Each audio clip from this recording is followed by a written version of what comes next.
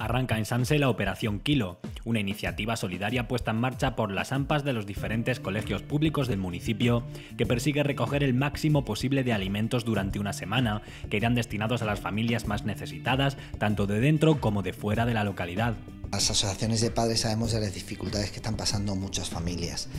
Y entonces eh, ya es el tercer año que organizamos una recogida de alimentos masiva en todos los colegios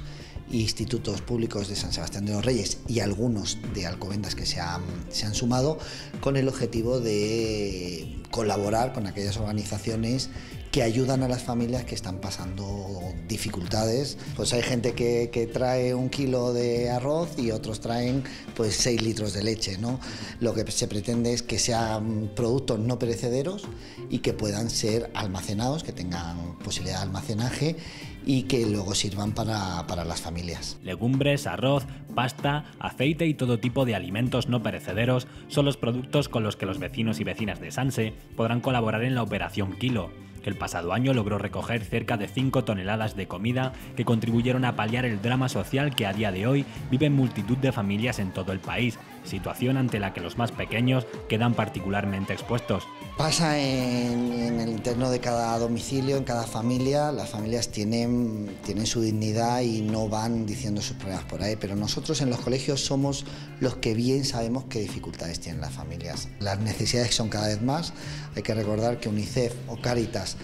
ha dicho que uno de cada tres niños en sus informes han manifestado que uno de cada tres niños en España tiene algunas deficiencias en alimentación, que la pobreza extrema está aumentando y por tanto la población, la ciudadanía tenemos la obligación de ser cada vez más solidarios.